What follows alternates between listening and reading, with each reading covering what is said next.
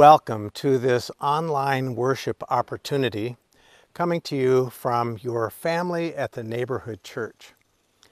Now, I need to acknowledge that I am not in the church as you all are not in the church but we are still all part of the church family. I'm coming to you from northern Minnesota at our cabin in the North Woods here where uh, we've had weather that's been up and down. But I want to welcome you all to this opportunity when we can come together through the technology of the internet and all the things that allow us to do this so that we can be together and truly worship God. Today is a special day because it is Father's Day, and so we want to congratulate all those who are fathers and to say we want to wish you a very, very happy Father's Day. In fact, we're doing something with the children in our church school. We're encouraging them to uh, get a t-shirt, uh, a blank t-shirt, and uh, have their children make a handprint on the back and fill that in uh, with the words that say, Dad needs a pat on the back, or it could be granddad needs a pat on the back. But uh, we think it'll be a fun way to uh, let our dads know how much they're appreciated. So a very happy Father's Day to all who are dads today. And, and again, we are so grateful for those who play that role for us uh, throughout our life. We turn now to uh, a time of wanting to worship God when we can open our hearts to the Spirit and presence of God. And uh, wherever you are and whatever you're doing at this point, I hope you can just relax and uh, take a deep breath. Let the Spirit of God come in and let yourself know that you are truly loved, that you are loved beyond measure and beyond imagination, and that we are all in God's loving hands. So we remember the words of Scripture when it says that this is the day the Lord has made. Let us rejoice and be glad in it. Let us truly worship God now as we hear our prelude.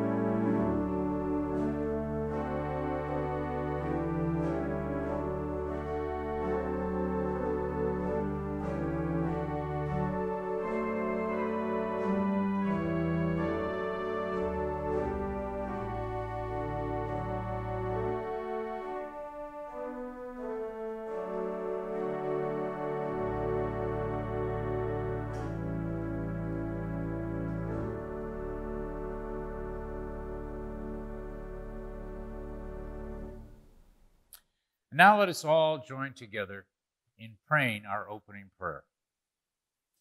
When the path is tangled with briars and the going seems all but impossible, we need a reclaimed sense of your presence in the midst of the journey, O God of possibilities. Draw near to us in this hour of inner reflection and outward praise, that we might be renewed in the way that is Christ. Amen. Our scriptural passage from today is from the book of Romans, chapter 7, verses 14 through 25. For we know that the law is spiritual, but I am of the flesh, sold into slavery under sin. I do not understand my own actions, for I do not do what I want, but I do the very thing I hate. Now, if I do what I do not want, I agree that the law is good. But in fact, it is no longer I that do it, but sin that dwells within me.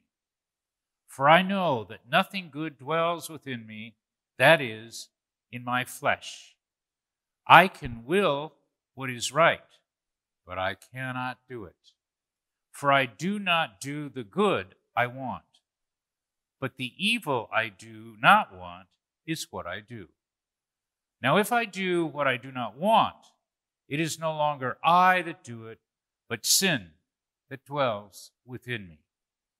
So I find it to be the law that when I want to do what is good, evil lies close at hand.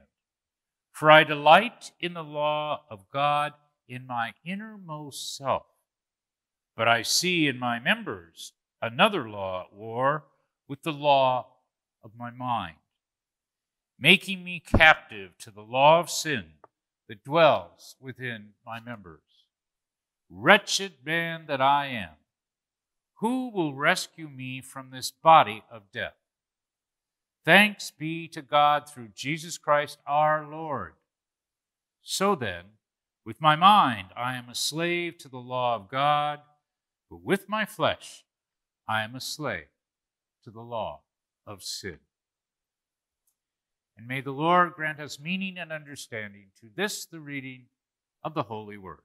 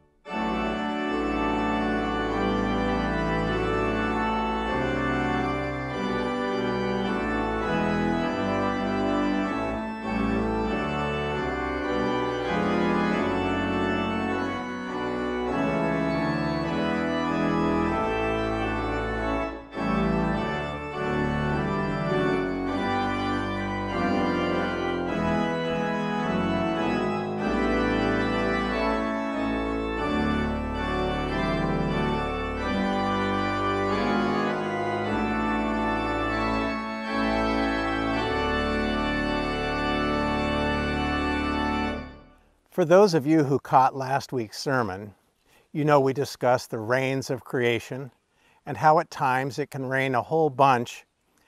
And we especially focused on the reign of God and doing God's justice. I have learned that when dealing with justice and doing what's right, it is always good to take the compensatory look at our own propensity for doing wrong, such that our quest for righteousness doesn't inadvertently become self-righteousness. The rain here in Minnesota has caused everything to be growing and turn green, including the weeds.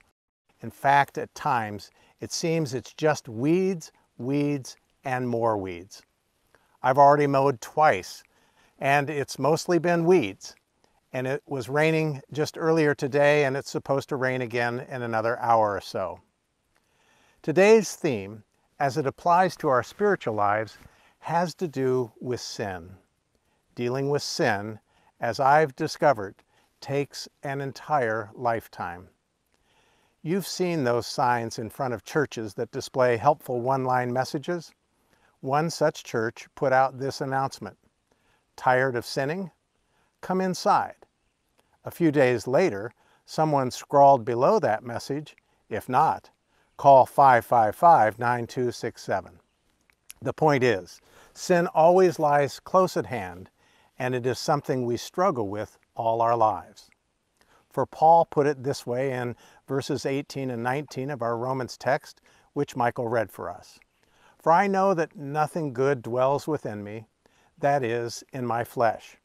I can will what is right, but I cannot do it. For I do not do the good I want, but the evil I do not want is what I do.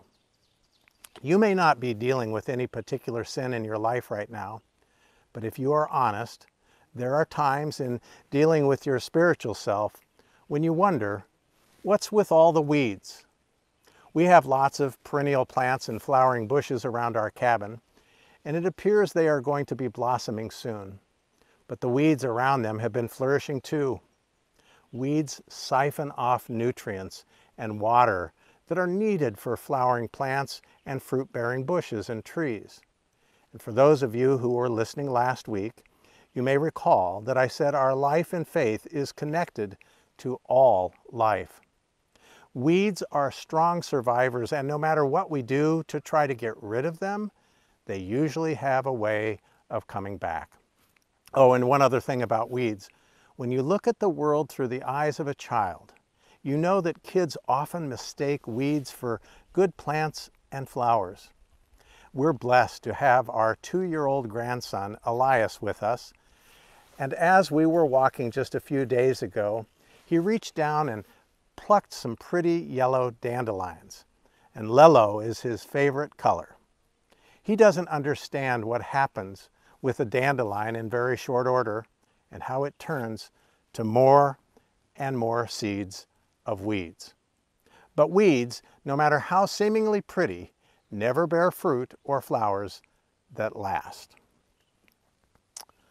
a man walked from New York City to San Francisco, and he was asked what his biggest hurdle or struggle was. And he said that the toughest part of the trip wasn't traversing the steep slopes of the mountains or crossing hot, barren stretches of desert. He said, the thing that came the closest to defeating me was the sand in my shoes. It is not usually what we think of as the big sins that defeat us. Most Christians fall to sins that they do not think are very big. Little weeds don't seem like much of a threat to our plants and flowers, but give them time and they can take over. So what's with all the weeds? There are many definitions for sin. The one which has been most helpful to me is this. Sin is the denial of relationality. Sin is anything that breaks a relationship, anything that alienates or separates. And who among us has not made wrong decisions, bad choices, said things we've regretted? And further still, I know in my own life, I have done things unintentionally and unknowingly that have caused a breakdown in relationality. In verse 15, Paul says, I do not understand my own actions. But the accurate rendering of the original Greek is really this. I do not know what I am bringing about. How true and how confusing that can be. Now I need to make it clear. I do not believe tragedy and misfortune are the result of sin. But I am convinced there is always a loss or a cost when we break relationality. And we are talking about more than sins of the flesh. Things like putting others in the wrong, controlling, manipulating, backbiting, gossiping, lying, pride, and self righteousness can be even more destructive than sins of the flesh. Yet, yet it is human nature to want to focus on others and the sins of others, to pass on the responsibility for something and pass it off onto them. Sin is like quicksand. The more energy spent trying to get out of one's own, the deeper one sinks. Friends, when it comes to our spiritual weeds, we need someone to help us. And fortunately, sin is not the final word. To return to our text from Paul again, for I delight in the law of God in my inmost self. But I see in my members another law at war with the law of my mind, making me captive to the law of sin that dwells in my members.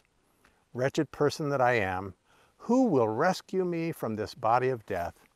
Thanks be to God through Jesus Christ our Lord. Thanks be to God through Christ, who restores relationality with God, with others, and even with ourselves. In closing, a few lines of doggerel I penned. I mess up and sin with hardly a grin, and then turn around and do it again. I feel much chagrin and turn myself in to the Lord, who is both above and within. God says I'm okay, just follow Christ's way. Let it go now, it's time to begin.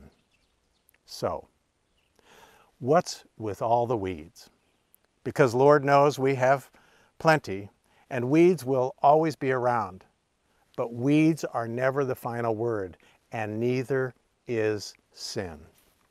Thanks be to God, through Jesus Christ our Lord, who indeed frees us from sin and restores relationality. Amen.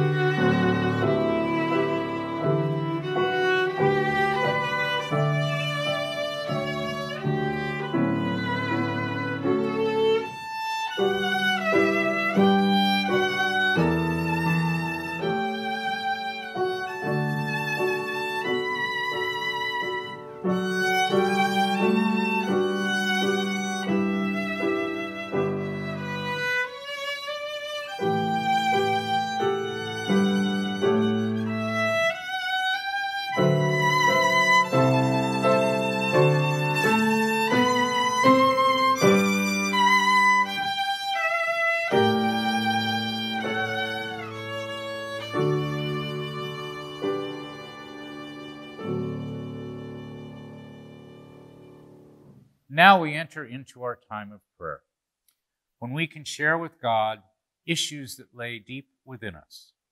So let us pray. Gracious and forgiving God, we come to you in prayer today to thank you for your constant and eternal willingness to forgive us for our sins. We understand that frequently sin can be defined as missing the mark or falling out of a relationship with you. And in the times in which we now live, both are so easy to do, and we do so so often. In our country that is so divided along so many lines, it is easy to believe that our way, our thoughts, and what we feel are right and can lead to the sins of pride and self righteousness. Those sins are revealed in so many ways. We have failed to live as people of grace, truth, and love. You call us to be humble, but we gloat in our pride. You call us to abandon ourselves, but we cling to our own achievements. You invite us to decrease as you increase, and to disappear as you become more visible. May we follow your will by living at peace with one another and loving others as you have loved us. However, we find that so very difficult to do we turn away from you and into ourselves. You command us to shine your light, but we often hide it instead. We are prideful and self righteous and desire control instead of trusting you to guide our steps. You welcome and receive all who come humbly before you. Yet we approach you far too often with much satisfaction and inappropriate pride. We think more highly of ourselves than we ought to think. We forget Jesus the Christ's plain teaching those who exalt themselves will be humbled, and those who humble themselves will be exalted. Forgive us and free us from this tyranny of self. We know you love us. We know you will never abandon us, and that you pursue us even when we miss the mark of putting all that Jesus Christ stood for first in our lives, or when we turn away from the relationship you wish to have with us. Thank you for loving us unconditionally. You are always gracious, ready to receive us, and your forgiveness never fails. We trust in your grace and commit it to the lives you would have us live so that others come to know you and see you.